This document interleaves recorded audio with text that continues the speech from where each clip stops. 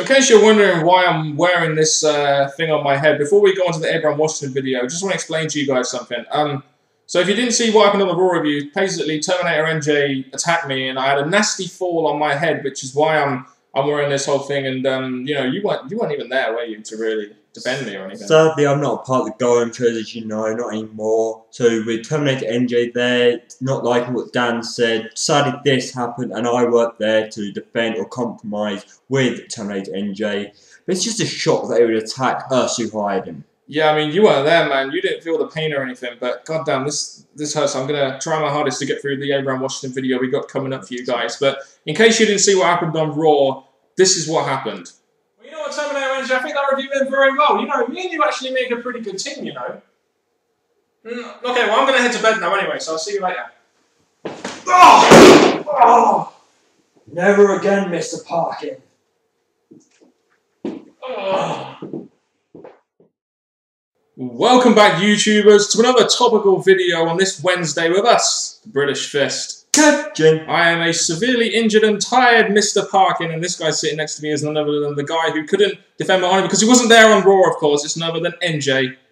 What's up? But with what's up I know you definitely would have defended me there, NJ. Um, yes, so subscribe above, like this video, comment any thoughts you have on the topic at hand in the comment section below. When you contact us, and the links in the box below. Yeah, and as per Terminator NJ's request, go follow him on Twitter at Terminator NJ, and also like his Facebook page as well. Um, he's got images of me getting attacked on his Facebook page. I cannot watch them, but goddamn, just do it anyway. Sad times, but the thing is that there are people out there who are liking these Oh. pictures. So what are you trying to tell us, people? What are you trying to tell us? I mean, I've had people on the comment section saying that was really entertaining. I'm like, well, I just got hurt. This is ridiculous. Do you support me or not? I'm just saying, guys. But anyway, in this video, we're going to be giving our thoughts on Abraham Washington's release and how this relates to the hypocrisy and the double standards in the WWE. We've, we've waited a bit of time, haven't we, to really get our thoughts on this out. Uh, so we've had a lot of people requesting us do this video, but we thought we'd wait a little bit and see what happens in the meantime and then give our thoughts rather than just dive straight into it with a rant, really. That's the thing. When we were doing it, we thought that Abraham Washington was going to be signing side with his team and going much further. Then we got this news, and we just thought, right, let's see what the outcome is, and then do this video. Yeah, uh, WWE apparently fired or released Abraham Washington because, and this is a quote, continued use of offensive and appropriate comments on live television and on social media after making a rape joke on the July 30th episode of Raw. That is obviously referencing the Kobe Bryant comments he made and then the Linda Sennett comments he made on the Twitter. Um, so just just give us your quick thoughts, NJ, on Abraham Washington as a performer first, before we go into the before we go into the hypocrisy and the double standards and our opinions. Well, the thing is about him, I know that he's great on the mic. He gives it all. He does his best. It's just obviously when he came into the WWE and he sided up with primetime players. The my problem with him, it was mouthy during the match. Beforehand, warming up was great and all. But I think when he's on the mic, he's absolutely great. I just think he's just got a bit too much as the interference of the match. Yeah, the uh, the primetime players in the tag team division will not be the same without Abraham Washington. I watched him during his ECW days. Not exactly a great wrestler, but fantastic on the mic, which is why I did like Abraham Washington. Also, make sure you go follow Abraham Washington at BJ Rated R to go follow his Twitter rants about WWE. There's a real good insight into sort of reality of the business and stuff, and that's what we've been looking at really. Um, but overall, he was a good future talent, but his release, general thoughts really of, of, of you know when you found out the news that he was released, what were your immediate thoughts? Well, straight away, I know this can come later, but the primetime players are screwed. oh yeah, the primetime players are definitely screwed. With Abraham Washington, I did see when he's eventually grown with the prime time players, he moves on to someone else, probably helping a main event, so just a good progression in the WWE. When I heard they got released, I thought it was really sad because they brought him in quite strong. He was helping out different tag teams, making a faction that didn't follow through. But there's just so much about it that could have gone somewhere. So his release definitely hit a big impact on this very moment in time. His release was total bullshit, in my opinion. We're going to go into more, more in more detail why later, but really, I feel quite sorry for Abraham Washington because you know you knew you saw this kind of like bludgeoning guy on the mic, uh, you know, on in WWE, and uh, it was a mistake. He made a mistake, and WWE seemed to acknowledge that mistake. But then all of a sudden, you know, for reasons which you'll go on to in a minute, he just got released. Um, but at the same time, I do understand that it was a, an offensive comment to make. Yes, it was an offensive comment to make, but don't fire him over it. Just suspend him for a month or something. But obviously, a great talent on the mic that's just been fucked up by a couple of double standards and hypocrisies and a certain campaign in the WWE, really, in my opinion. It's definitely had a lot against him, and Abel Washington being the able to speak free will speaker did what he thought was right, but then obviously it backfired pretty hard. Yeah, so his release, in my opinion, was total bullshit. You give us your thoughts in the comment section below, of course. Now we're going to go on to the more pressing issues, really. We're going to start off by talking about, you know, when Abraham Washington said what he did, it really represented something for me, really, as a wrestling fan. You, you have all this hypocrisy within the WWE and all these double standards. And Abraham Washington saying what he did, getting fired for saying what he did. You've got all these hypocrisies, all these double standards. I'll give you a couple of examples. You know, I'm allowing Vincent McMahon to make fun of Jim Ross's Bell's palsy on Raw. Mike Tyson, a convicted rapist, celebrated for being in the Hall of Fame. The Be a Star campaign with Vicky, Vickie Guerrero's weight jokes, all the you know all the making fun of her, her jokes, you know, by John Cena and people like Jerry Lawler. Orton calling Kelly Kelly a slut, Cena's homophobic slurs, Vince McMahon saying the N word to Booker T. Did any of these get got fired for doing saying shit like this? Yeah, Abraham Washington says something about Kobe Bryant and he immediately gets fired. What's up with that? The thing I look at this is that normally when you do something, get like about three chances, especially like Orton and other oh, yeah. people who've done drugs and that. They get at least three chances before they're released. With just one remark for a guy, this was his first offence, mm. and he just gets released. That really shows compared to what wrestlers do compared to what a manager does. It's kind of unfair there. It's, it's very unfair. I mean, you could go further. Big Show made a Kobe Bryant comment in a battle rap against Cena in 2004. Did he get done for it? No. Jericho got suspended for 30 days for desecrating the Brazilian flag. A-Ry gets bullied by Cena and gets demoted from his push. And just that WWE is supposed to be promoting this uh, anti-bullying campaign. Well, I'm sorry, WWE. If I, you know, if I sit there and give you plenty of examples like this, and they're not being cap- and they're not you know nothing's being done about them. Nothing's being done about Cena, the big shows, etc. Why Abraham Washington? It really does show a hypocrisy and a double standard within the WWE, and it's shit like that that really pisses me off about Vincent McMahon's company sometimes. I think it's definitely bad when you look at it. You can even go as far as one person telling me on Skype that the WWE, especially Vince McMahon, has been against the black wrestlers. Oh yeah. I think Abraham Washington, just because he's probably in the black category mm. and he's made this remark, maybe that's why he's getting this quickly punishment oh, yeah. of what he's done. Because Vince McMahon is a well-known racist. There's a reason why Vince McMahon has never pushed really black guys towards the from like The Rock, Mark Henry, and a couple others, etc. They could be, it could be Vince McMahon is a racist. Whether or not that takes into account, I don't know. But I understand that back when these sort of offences were done, it was different times. But the point is, the this is the matter of fact there are double standards within the WWE and in the people at the top as well. And I just wonder why WWE sit there and they give us this bullshit with Abraham Washington being fired, and then they expect us to buy into their Be a Star campaign, which they hypocrisize all the time with the anti-bullying campaign, with all the weight jokes on Vickie. They got all these examples of these things, which people, you know, if they if Abraham Washington did this that he would have been fired for, but because it was Cena or other people, he didn't get fired for double standards and hypocrisy have pretty much led to what is the firing of Abraham Washington, which was incredibly, incredibly unfair in my humble opinion.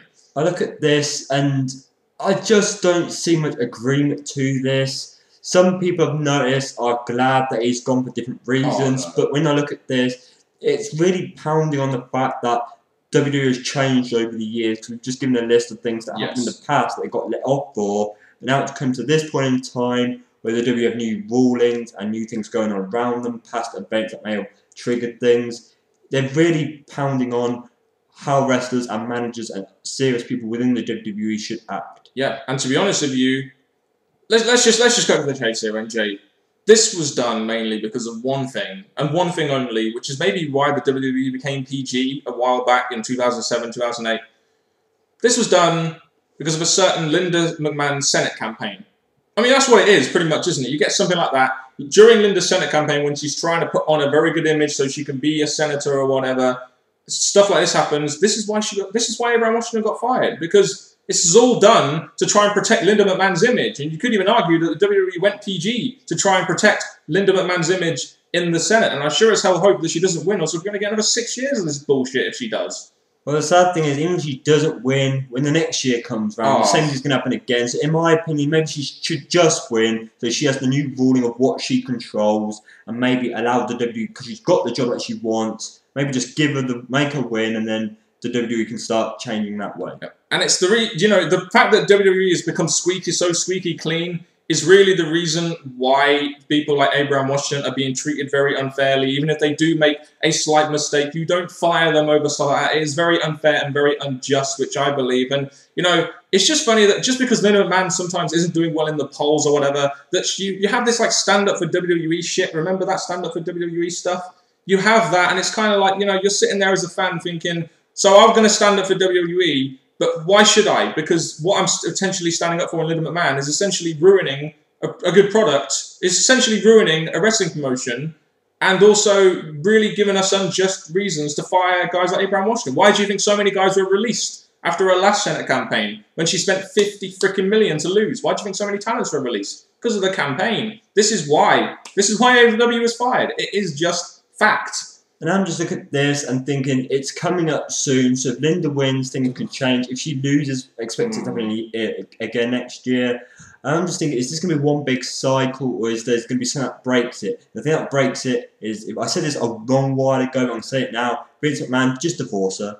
Yeah, well, to be honest with you, if Linda McMahon goes into Senate again, we're going to get more of this shit. And to be honest with you, it's kind of funny as well the hypocrisy within this because one of Linda McMahon's monikers in her, you know, in her campaign is the ability to create jobs. And I find it funny that after her, her last Senate run, loads of people got released because they spent 50 million doing it, and now they're firing Abraham Washington for something that he said, which maybe they could have suspended him a month for or whatever. They fired him. And, you know, one of her monikers was, we're trying to create as many jobs as possible. Well, you're doing it in your company, but you just fired a guy for something that potentially you could have just disciplined him over, but not fired. Come on, that was ridiculously overdone. And I can't see how they're going to come back from this because we're mentioning all what's going on. But the thought that keeps coming to me is they've had Abraham Washington, a guy that people grew to love and mm. some got to hate. But the, the the thing that happened before he left was just before SummerSlam, oh, yeah. which I'm going to bring up now. Maybe it's outplaced, but it just comes up. All this we've said about why he should be fired. It's got what has he left? He's left a trade of new stars going towards mm. the SummerSlam tag title match, and I don't know now. Yeah, well, the, there's no reason for me to care about the primetime players anymore because they don't have AW. Um, and I think, to be honest, we can go even further with this argument. We've looked at the hypocrisies which are blatantly there, which have gone against AW. Linda's Senate campaign essentially, you know, being a kind of block for Abraham Washington in, you know, in getting this firing. Um, you know, this kind of, to me, shows me what WWE has become. It shows that WWE tries too hard to be politically correct it shows they're not in any way edgy anymore, and this is potentially really why their product isn't that great right now because of all this because of all this bollocks. Really, in my opinion, this is this is the kind of stuff you cannot. Of AW, you cannot be in any way edgy or anything, or else you're gone. And that's the kind of shit that really pisses me off about the World Wrestling Entertainment right now. And I don't think there's going to be much that can be done about this because, like I've said throughout the video, there's new rules in the WWE and until something gets done about them, I think many wrestlers who want to come in and cut the great promos or to be able to have the free speech, which I've said, they're not going to be able to, and they've really got to lie to their words. Which, even though Abel Washington knew beforehand, so maybe it's his fault in a way he stepped over the line. It's his fault, but he made one mistake. We've all made mistakes, NJ, and it just one little error of judgment, and the guy's gone. And you know, it just it, to me, it just seems very unfair that guys like you know, can get free strikes of drugs. You know, you have exact you have these hypocrisies before with guys that you know have done certain things which you know Abraham Washington would have been fired for, but they didn't get fired for it. And you know, it just really sums this whole thing up. And if this is where the WWE is going with regards to their PG product and protecting Linda's Senate campaign and her image as so damn much by using the World Wrestling Entertainment as a wrestling company, you know, it's not going to get much better. Really, it's not. It's not going to get that much. It's not going to get much better, guys. Just saying.